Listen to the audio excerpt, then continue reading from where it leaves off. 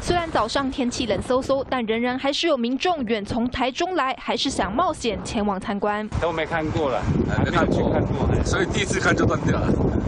新北市东北角海域知名景点象鼻岩，十六日下午象鼻经船崩塌，而现在也加强安全管制，避免民众前往酿成危险。象鼻岩侧身矗立海中，细长的象鼻正深入海中涉水，浑然天成的海蚀拱门，不论颜色形状，都好像一头真实的大象。奇特自然美景消失，真的让许多人相当惋惜。总有一天它会整个的呃塌掉，然后这个拱门就。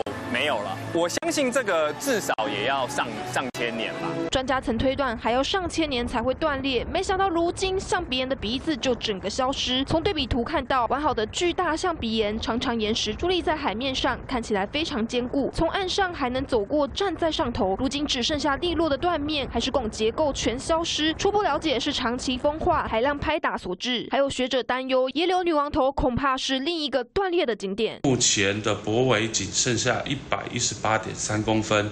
那之前呢，我们也有请专家评估过，女王头很有可能会在五年之内断头。园区目前也在尝试任何新的方式，能够维系女王头的生命。除了常年风吹日晒雨淋之外，游客的不当行为也可能会是加速侵蚀的速度。想要保护自然景观，民众的一举一动都可能是影响的关键。记者朱玲荣、李婷熙新北采访报道。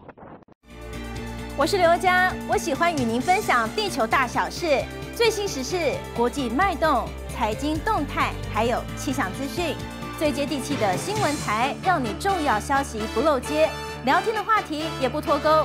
当然，更多新闻请锁定中视的 YouTube 频道，记得按赞、订阅、分享，还要开启小铃铛哦。